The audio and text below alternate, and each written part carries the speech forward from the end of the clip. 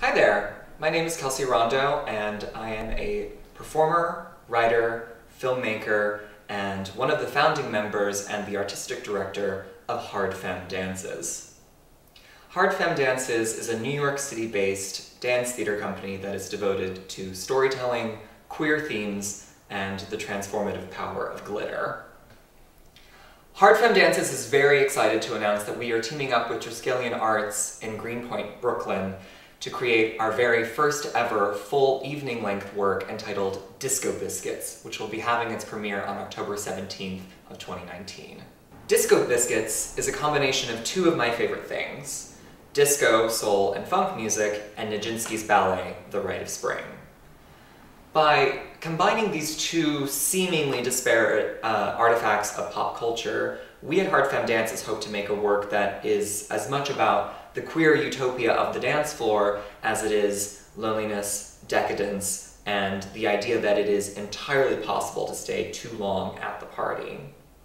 On the way to our premiere in October, we will be creating movement, we will be telling stories, and then we will also be drawing on the personal experiences of the 10-member ensemble. The Rite of Spring is my personal favorite story ballet. Um, and they're not quite as uncommon as you might think. The Rite of Spring tells a story of a group of people who come together to celebrate the coming of spring, and somebody dies at the end. In the 1970s, people would go and celebrate on a disco floor, and maybe sometimes someone would die in the end. You can't put that in there. I want to connect with my audience in ways that leave them leaving the theater, um, you know, thinking about what they've just seen, but I also want them to have a good time. I, there are not enough words to express the immense gratitude that I feel for all of you.